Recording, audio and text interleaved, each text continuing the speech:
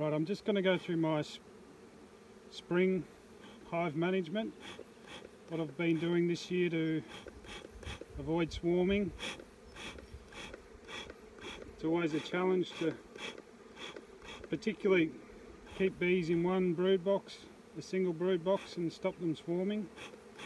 So what I've been doing this year is putting wax foundation in in the brood box to give them space and I've found that's been working pretty well.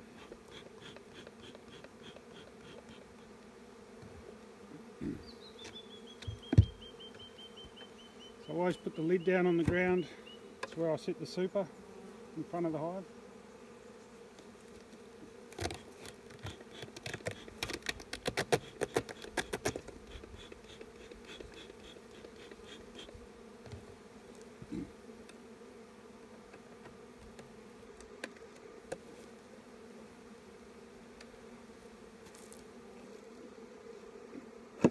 Fair bit of honey in there.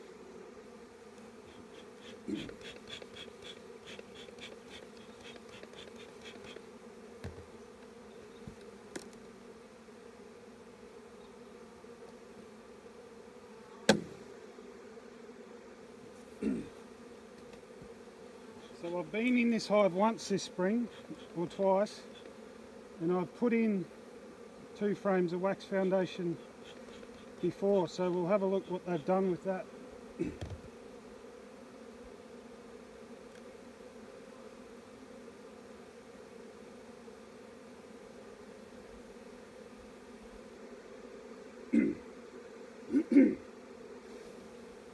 I don't know exactly when that was put in, probably three weeks ago, and it's all capped brood. No, no swarm cells there yet, which is good.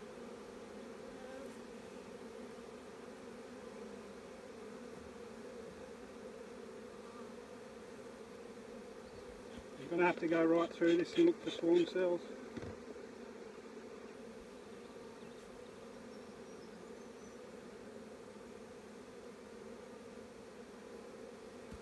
Now I've got deep bottoms on these hives and you'll see the bees have built drone comb off the bottom bar and you may think that's a nuisance but they've got a strong urge to build drones and they've got to do it somewhere. So if you allow them to do it down there in the base it stops them from chewing out your brood comb and putting drones in here and they can do it down there. And the other thing it does is when you put your wax foundation in they tend to draw it all the way down because there's activity down below the bottom bars. So they draw it down to the bottom better. If that comb wasn't there they leave a gap at the bottom of your comb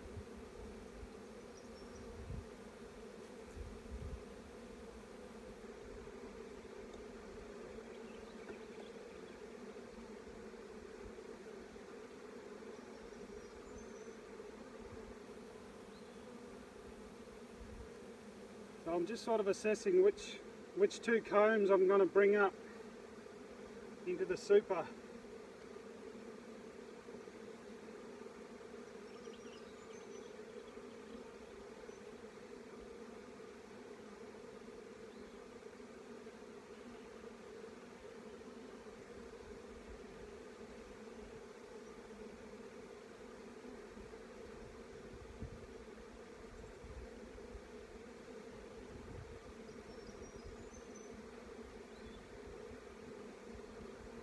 See that's another new frame that's been in for probably three weeks and that's all capped brood.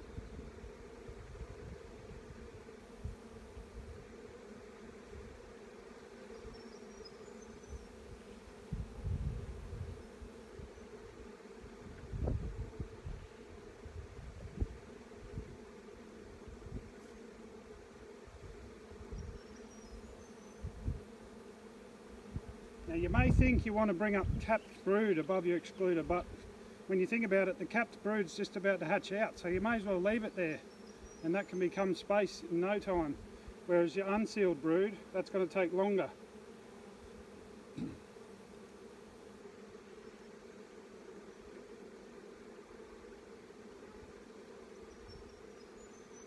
So here's a really crappy frame. The, found, the, the plastic foundation is warped, so it's out of shape. So I'm going to take this one out.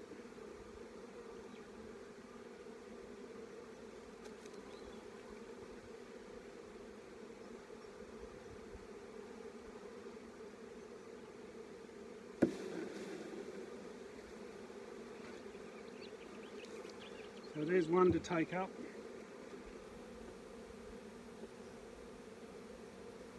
And this one on the edge is all honey, so I'll take that up too.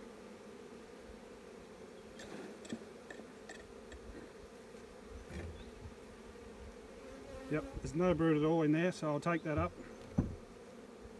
now I want to arrange this. Any older frames that I might want to take out in the future can go to the outside.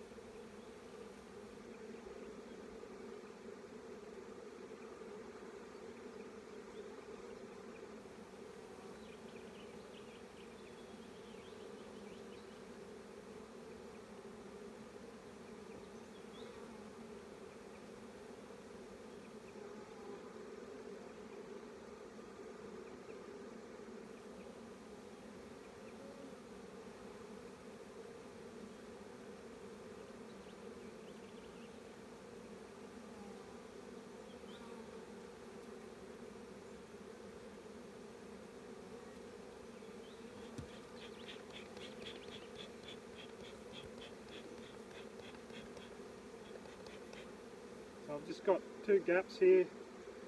Going to put foundation in there. So I didn't find any sign of swarming, which is fantastic. So here we go, just two frames of wax foundation. Embedded these fresh this morning, so they're not warped or covered in dust or anything, and they go straight in the brood box.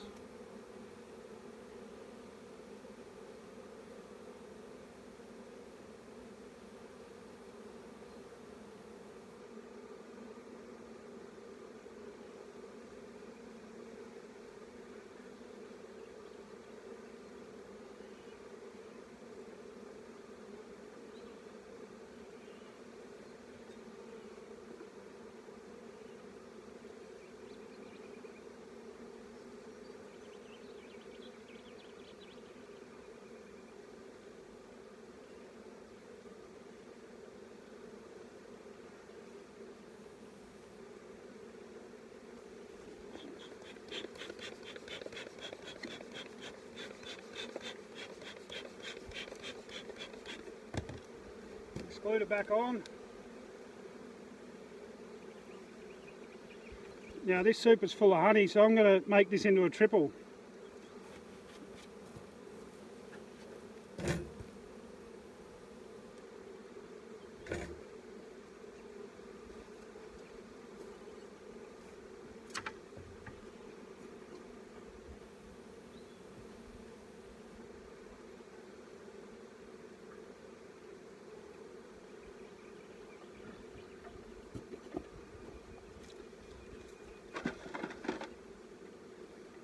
I'm going to put that frame of brood that I brought up in the middle.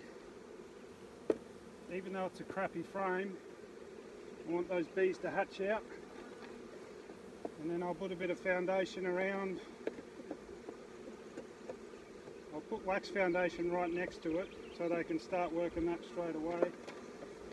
And then some plastic foundation out because that's what I've got.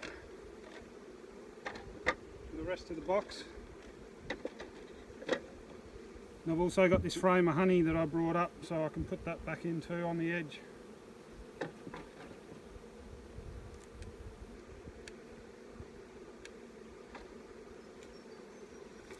Now this box of honey back on top.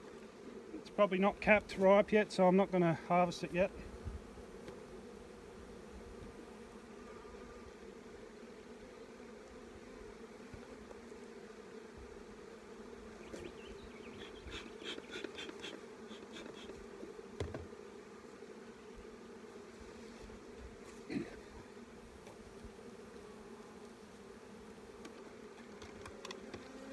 So there we have it. The one next door, that's been a triple for about three weeks now. It was further, further advanced, came out stronger out of winter. But that's pretty much what I'm doing with all the hives at the moment. Putting that wax foundation in the brood chamber to give them space. And the queen will be laying in that in no time. They don't have to draw it all the way out for the queen to lay. They only draw it three or four mil out and she'll put an egg in there. And then they've got the next few days to continue drawing it out the rest of the way. The whole idea is just to relieve that congestion in, in the brood box. Now quite often you'll bring up a couple of nice frames of brood. Well, you can come back later and grab them if you want to make a split. Or if you've got a weak hive, take that frame of brood you took out and um, give it to the other weak hive.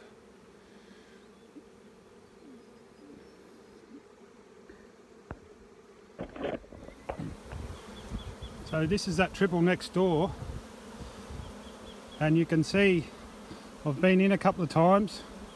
There's four new frames in here that were foundation and then I like these black frames as brood frames so they're in there in the middle.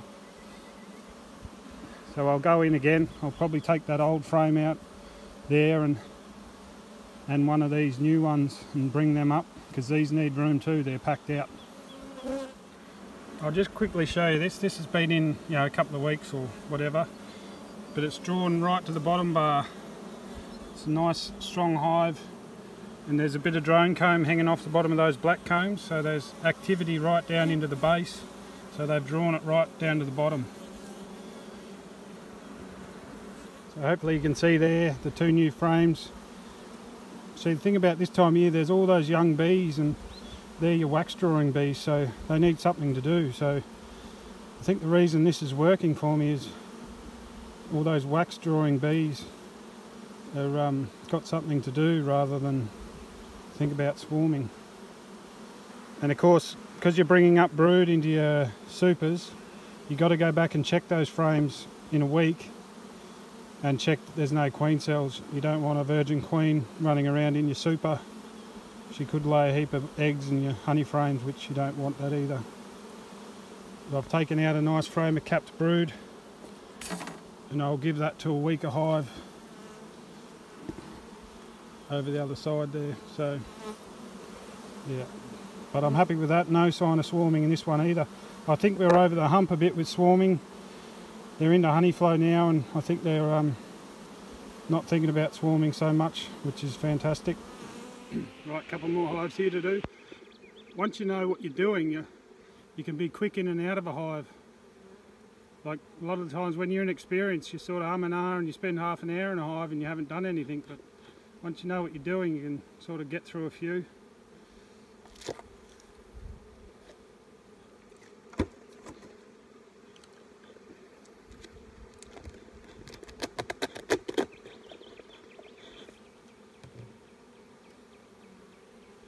They're a little bit behind the last double. They're not quite as packed in the super.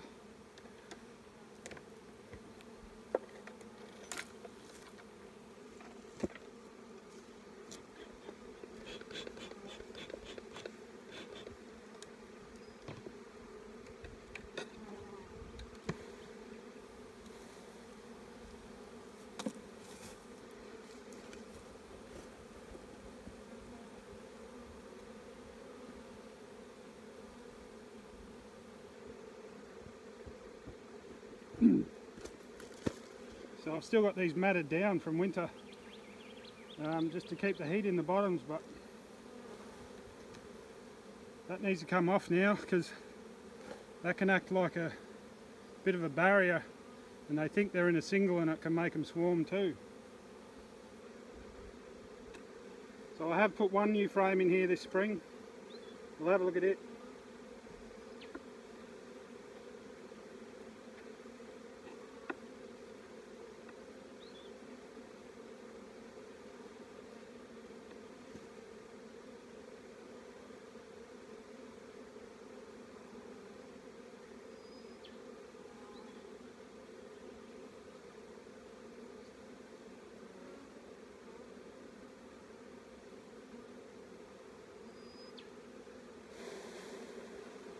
It's brood all the way out to the wall.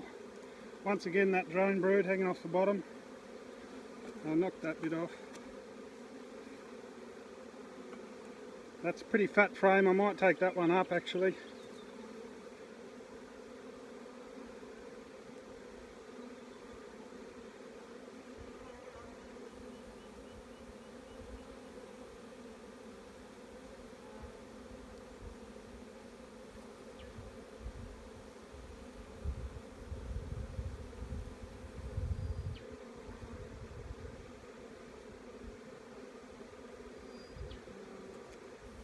Here's this new frame, it's all capped brood, pretty much the full frame.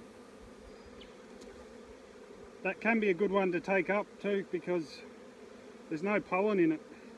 You don't want to be taking up a whole heap of pollen into your honey super because it's just wasted real estate.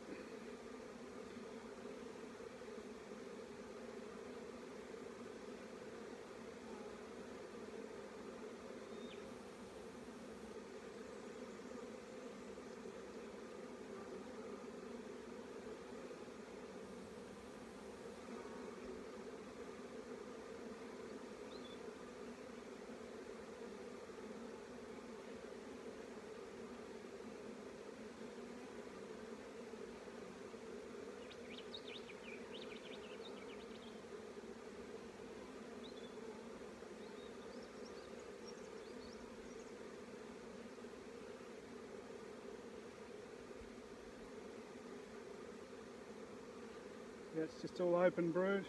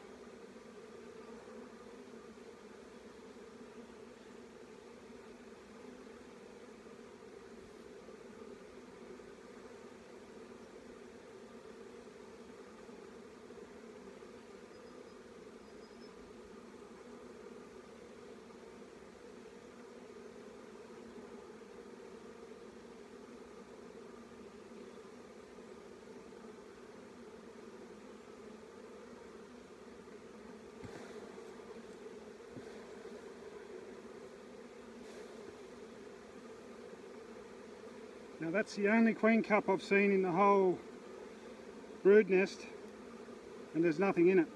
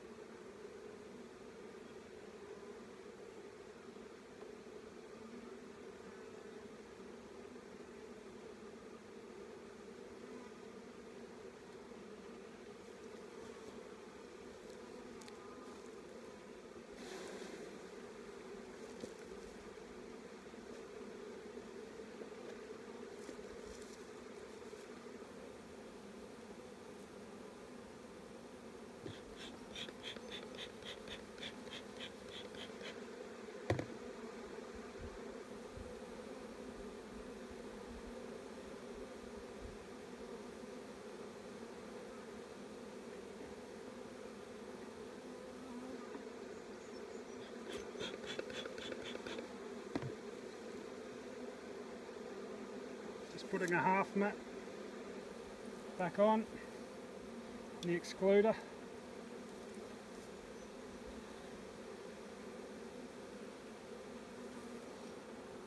Now I'm going to try and work these two frames of brood back into the super.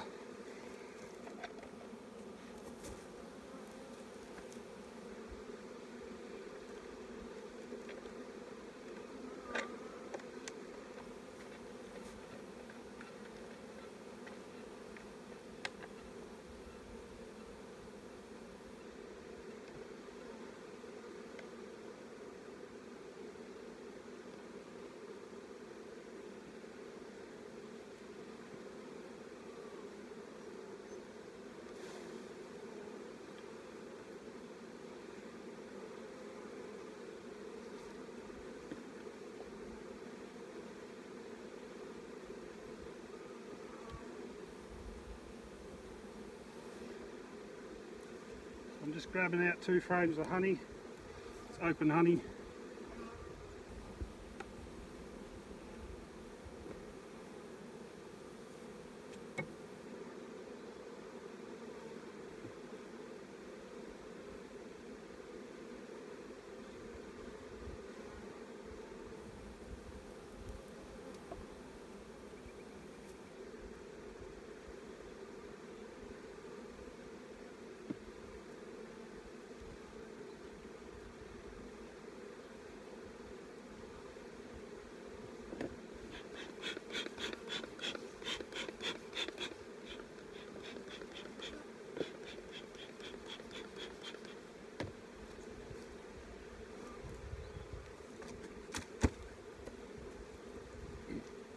They didn't need a third box, maybe next time. So here's another triple I'm going through. Uh, as you can see, nice honey flow on. If you can control your swarming, this is what you get. You get a couple of nice boxes of honey and um, a hive packed full of bees. So we'll have a look in the brood box and see if there's any sign of swarming.